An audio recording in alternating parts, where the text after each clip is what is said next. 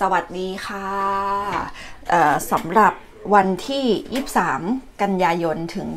23 ตุลาคมเนาะก็ในส่วนของโหราศาสตร์ตะวันตกก็ต้องบอกว่ามันเป็นการเข้าสู่ฤดูกาลใหม่นะคะก็คือฤดูใบไม้ผลินะคะหรือเรียกว่า fall นะคะก็คือเป็นช่วงของใบไม้เปลี่ยนสีนั่นเองนะคะทีนี้คือต้องบอกว่าการที่ดาวอาทิตย์เนี่ยเขาเข้าสู่ราศีตุล นะคะอิทธิพลต่างๆนานาเนี่ยหรือว่าสิ่งที่เขาสะสมเล่าๆกันมานะก็ต้องบอกว่ามันเป็นเรื่องราวที่จะเกี่ยวข้องกับโอกาสเกี่ยวกับการขยายคอนเน็ชันของคุณ หลายคนจะมีการตัดสินใจในหลายเรื่องอะที่เพิ่มมากขึ้นนะคะข้อเสียที่เจอเนี่ยอาจจะเป็นการที่ หลายคนจะรู้สึกว่า เฮ้ยมันเหมือนโซเชียลเบอร์เอาเบิร์นเอาท์ก็คือการที่คุณเข้าสังคมมากเกินไปออกงานมากไปนะคะคุณจะต้องมีจุดยืนของตัวเองนิดนึงนะ ถ้าแบบเฮ้ยงานนี้ฉันรู้สึกฉันไปมาเยอะแล้ว ฉันต้องไม่ไปก็ไม่ต้องไปถึงต้องบอกคนอื่นให้เขาเข้าใจตรงกันนะคะแล้วก็ เรียกว่า Libra Season เนี่ยมันเป็นมันเป็นการเปลี่ยนแปลงครั้งใหญ่ของตัวคุณอีกเช่นเดียวกันนะคะก็คือจากการที่หลายคน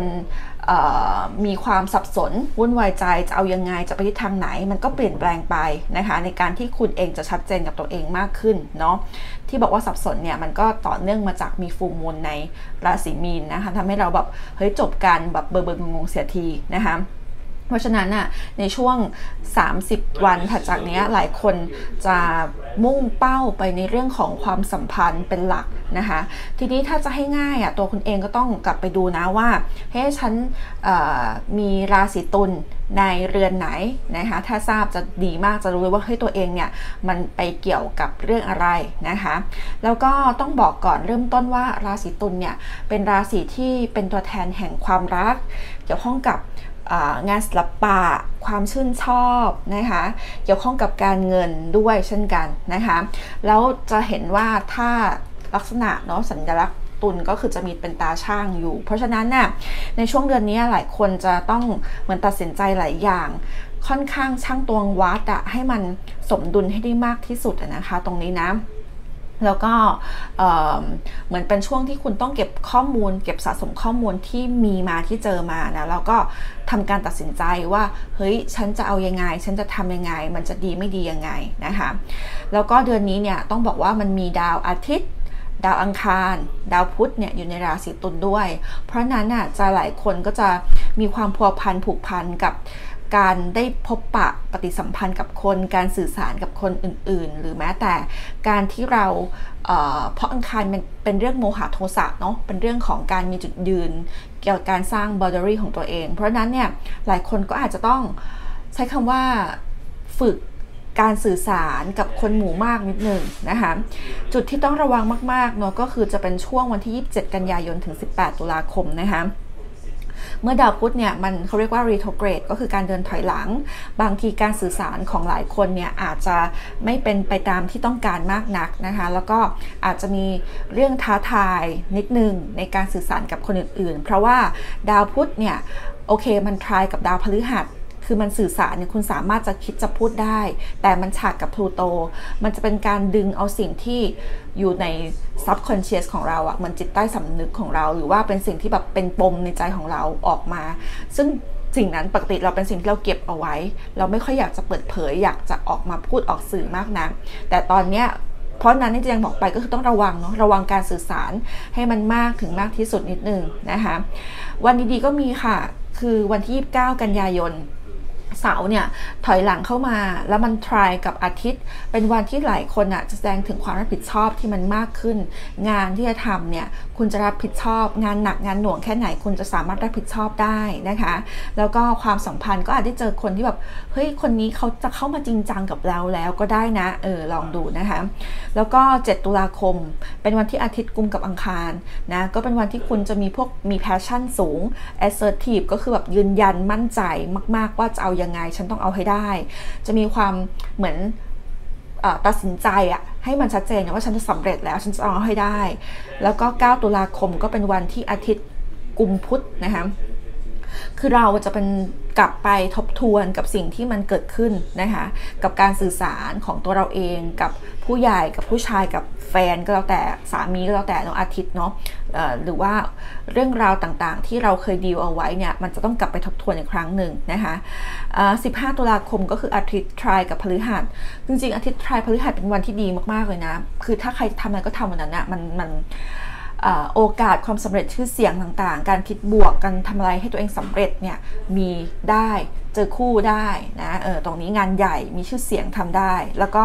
อีกนิดนึงก็คือที่จะให้ระวังก็คือวันที่ 17 ตุลาคมเนาะก็เป็นวันที่อาทิตย์ฉากพูโต เพราะว่ามุมฉากเป็นมุมท้าทายอยู่แล้วนะคะ ทีเนี้ยว่าด้วยพูโตเนี่ยมันเป็นมันเป็นเหมือนกับถ้าเชื่อนะมันก็เป็นเหมือนกับบททดสอบจากกรรมเก่าของเรานะคะ แล้วก็อาทิตย์ก็คืองาน ผู้ชายสามีคุณพ่อ ทีนี้เวลามาทำมุมฉากกันมันก็อาจจะมีความสัมพันธ์ที่เกี่ยวข้องกับคนกลุ่มนี้ที่จะดึงเอา ถ้าเราเชื่อนะ ถ้าใครเชื่อนะ ก็บอกว่ามันเป็นเหมือนกับการดึงเอากรรมเก่าที่เราเคยเจอ ที่เราต้องเจอหรือว่าเลือกมาเจอกับคนคนนี้แต่ถ้าไม่มีใครใครเออไม่เชื่อค่ะกรรมเก่าฉันไม่รู้ว่าชาติไหนที่ฉันไปทำอะไรมา ก็อาจจะเกี่ยวข้องกับกรรมปัจจุบันนี่แหละ แต่ว่ามันลองสังเกตตั้งแต่เกิดมาถึงปัจจุบันเนี่ยแล้วลองดูดีๆนะ เพราะว่ามันจะเกี่ยวข้องกับพวกเหมือนกับผู้มีอิทธิพลก็เลยนะ ที่มันดึงเรื่องราวตรงนี้ออกมา เหมือนกับเราโดนกดดันอะไรบางอย่างที่มันจะทำให้เกิดขึ้นนะคะได้เนาะก็อันนี้ละค่ะเป็นเรื่องราวที่มีเกิดขึ้นในช่วงเดือนตุลาคมนี้นะคะ สวัสดีค่ะ ยินดีต้อนรับเข้าสู่ช่อง Jasmine J 569 Soul Master ที่ปรึกษาทางด้านความรักและการทำงานผ่าน ประสบการณ์หลักคิดและโหราศาสตร์ตะวันตกนะคะ คลิปนี้นะคะก็จะมาถึงในส่วนของชาวมังกรนะคะ ในช่วงเดือนตุลาคมนี้นะคะ มาช้าแต่มานะอ่าก็ต้องขอโทษด้วยนะคะ อาจจะมาช้าไปหน่อยนึงแต่ว่าก็พยายามจะมา ให้ได้นะคะ โอเค มาดูกันดีกว่านะสำหรับชาวมังกรก็คือผู้ที่เกิดระหว่างวันที่ 22 ธันวาถึง 21 มกราคมโดยประมาณนะคะ เริ่มต้นการจริงๆแจงทำวิดีโอวันนี้วันที่ 1 ตุลาคมไปแล้วนะคะ นี่นี่นี่หตุลาคมไปแล้ว ซึ่งก็ถือว่า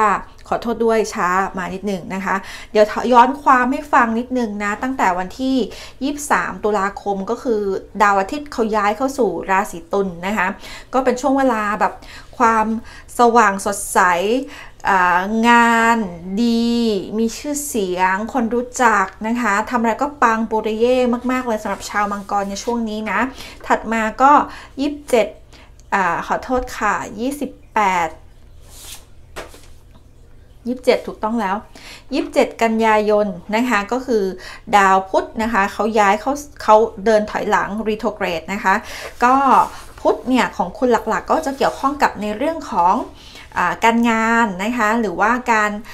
ความเชื่อการเรียนต่อระดับสูง การทำอะไรออนไลน์ การทำอะไรที่เกี่ยวข้องกับการต่างประเทศนะคะ เวลาพุทธถอยหลังครั้งหนึ่งอะค่ะเขาจะนำพาซึ่งโอกาสเหล่านี้มาให้ แล้วเขาเดินทางอยู่ในเดือนที่ 10 ของคุณแสดงว่างานที่ทำโอกาสที่มาเนี่ยมันก็จะมาจากในส่วนของ งานเก่าๆ ลูกน้องเก่าๆ โปรเจกต์เก่าๆ ความเชื่อเก่าๆ ออนไลน์วิธีการที่จะทำอะค่ะ เก่าๆ ที่มันจะนำพามาซึ่งโอกาสต่างๆนานาให้กับตัวคุณนะคะ ถัดมาก็วันที่ โอเค 6 ตุลาคมนะคะ จะมีนิวมูลเกิดขึ้นใน Libra นะคะ ก็จะเป็นนิวมูลการเริ่มต้นสิ่งใหม่ ๆ แล้วเขาทำมุมเนาะก็กลุ่มกับอังคารกลุ่มกับดาวพุธ แสดงว่าสิ่งที่คุณจะได้ทำครั้งนี้มันอาจจะเป็น ไอเดียเก่า การสื่อสารเก่า แต่ว่าได้ลงมือทำเป็น action ใหม่ได้ไหมคะ เพราะอังคารเนี่ยมันเป็นการลงแรงใช้แรงออกแรง แล้วอังคารเนี่ยเจ้าเรือนเดิมของราศีเมษใช่ไหมคะเจ้าเรือนของราศีเมษก็คือเรือนที่ 4 ของคุณ แสดงว่าสิ่งที่ทำเนี่ยอาจจะได้ทำกับคนในครอบครัว ธุรกิจครอบครัวก็ได้นะคะ หรือ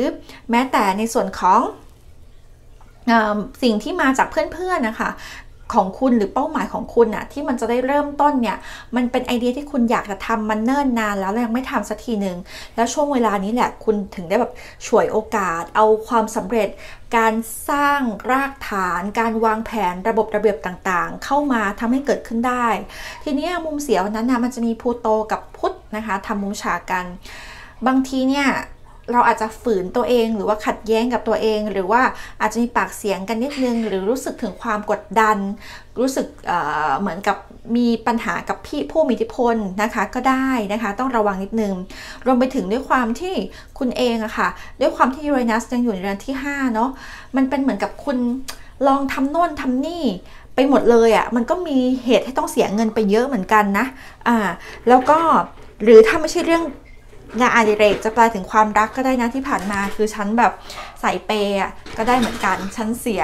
คนเข้ามาออกไป แล้วฉันก็เสียเงินกับคนนี้ไปเยอะก็ได้เหมือนกันนะตรงนี้นะอ่าทีนี้ถัดมานะคะ 18 ตุลาคมนะคะ ดาวพฤหัสนะคะ เดินนำหน้าและ direct แล้วนะคะ เสาก็เดิน direct แล้วเช่นกันนะคะ ต้องบอกว่าจังหวะนี้โอกาสในเรื่องของการเงินของคุณคือปังมากๆนะ จริงๆ เสาอยู่เนี่ย คุณจะรู้สึกถึงความจริงจังซีเรียสหรือว่าคิดอะไรเป็นแบบแผนมั่นคงมากขึ้นนะคะประหยัดมากขึ้นก็ได้พูดอย่างนี้นะพฤหัสเดินนำหน้าก็นำพามาซึ่งโอกาส ซึ่งโอกาสครั้งนี้มันเหมือนกับ อยู่ๆก็เข้ามาไม่ทันตั้งตัวนะ ไม่รู้แบบเฮ้ยมาได้ไง อาจจะมีการสื่อสารอาจจะแบบเหมือนเหมือนบางครั้งแบบฝันแวบแล้วแบบเฮ้ยเงินเข้าใบหัวหรือเปล่าหรือว่า มันจะเป็นภาวะเหมือนกับโอกาสเข้ามาแบบ คุณไม่ทันได้ตั้งตัวก็ได้เช่นกันนะคะ ณจังหวัดนั้นเนาะแล้วย้อนไปนิดนึงวันที่ 7 ตุลาคมเนี่ยดาวศุกร์ย้ายเข้าสู่ราศีธนูนะคะก็ มันเป็นคือศุกร์เข้าสู่ราศีธนูเนี่ย อะไรก็แล้วแต่ที่เป็นความลับเนี่ยมักจะได้สิ่งนั้นมา เช่น คนรักที่เป็นคนลับบอกใครไม่ได้ หรือว่าเป็นลักษณะของการ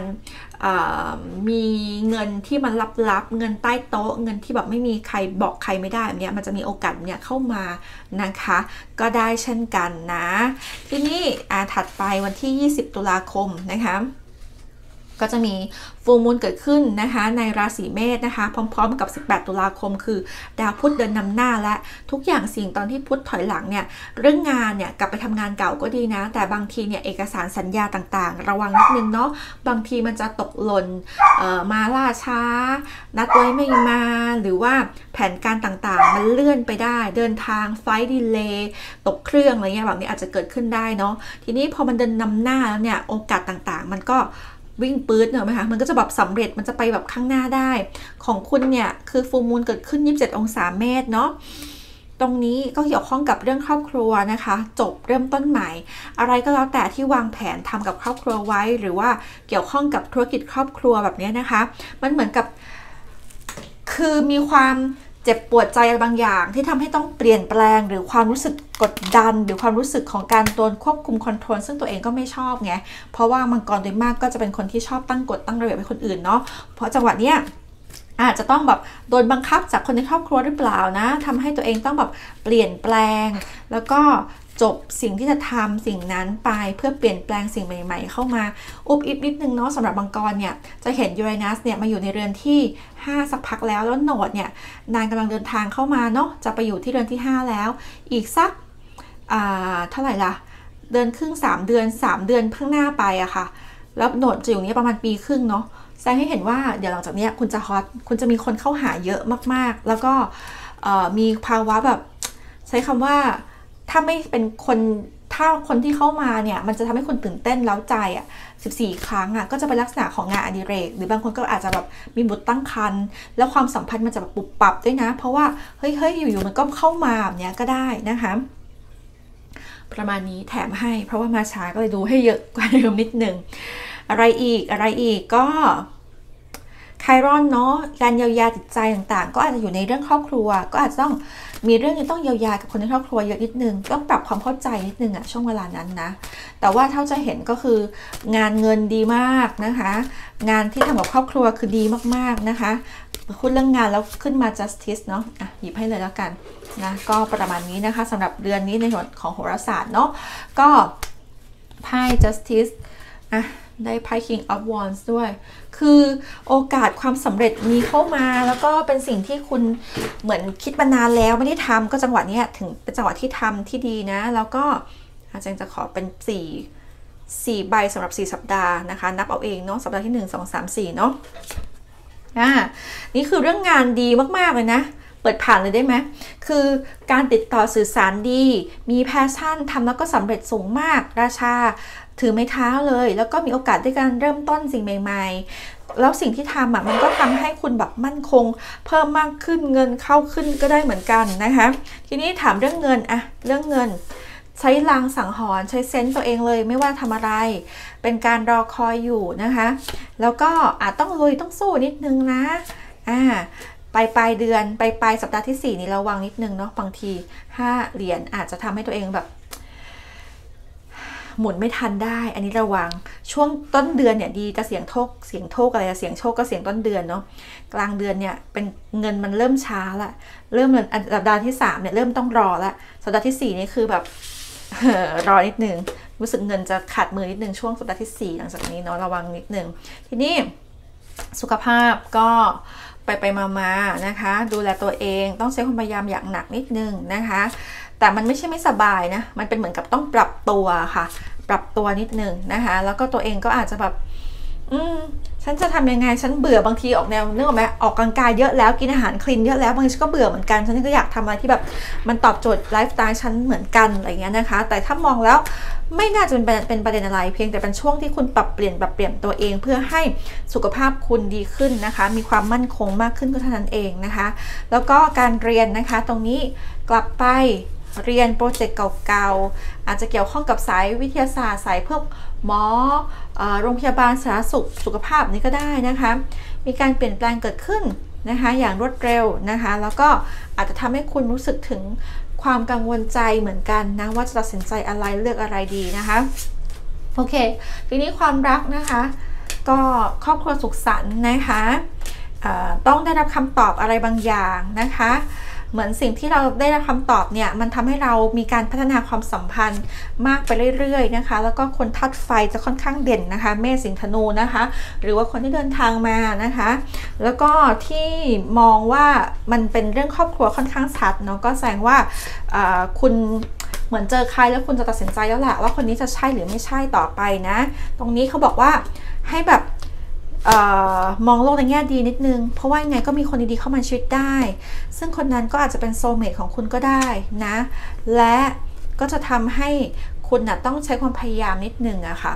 นะในเรื่องความสัมพันธ์เนาะและก็ต้องปลดปล่อยตัวเองนะจากพัฒนาการต่างๆ ที่เราเหมือน excuse อะแบบข้ออ้างอะ ปล่อยคนเก่าๆไปได้แล้วนะคะ ตรงนี้นะพลังงานเก่าต้องเพลียออกไป แล้วก็แสงออกเนาะในเรื่องความรักความสัมพันธ์ให้เพิ่มมากขึ้นนิดนึงก็จะดีมากนะคะ แล้วขอหยิบเป็นไพ่ Oracle นะคะ เป็นยังไงบ้าง ก็จะไพ่ Comfort นะคะ คือเป็นจังหวะสบายของคุณแล้วแหละเหมือนกับมีสิ่งศักดิ์สิทธิ์มีคนช่วยเหลือคุณ เขาบอกว่า take back your power ก็คือ บางทีอย่าใส่อย่าใส่พลังไปเยอะ ทุ่ม อย่าทุ่มไปเยอะปลดปล่อย ปล่อยวางบ้างบางคนจะเบิร์นเอาได้ง่าย หายใจลึกๆ หายใจเข้าหายใจออกนะคะ พยายามแบบหายใจนะคะ แล้วก็ลองไปทำกิจกรรมสถานการณ์ข้างนอกบ้านบ้างนะคะ เคลียร์จักราตัวเองนะคะนิดนึง แล้วก็ที่จบก็คือ Indigo and Crystal Children ก็คือทุกอย่างสิ่งเนี่ยมันเกี่ยวข้องกับเด็กอีกแล้ว เกี่ยวข้องกับครอบครัวนะคะ ก็ เป็นสิ่งที่ความสัมพันธ์เรื่องงาน เรื่องเงินเรื่องความรักหรือทุกอย่างสิ่งมันอาจจะมาจากคนในครอบครัว หรือว่าเรื่องเด็กเนี่ยเป็นองค์ประกอบให้กับคุณก็ได้นะคะ ตรงนี้นะ โอเค ขอบคุณทุกคนมากแล้วค่ะ ไปแล้วค่ะ สวัสดีค่ะ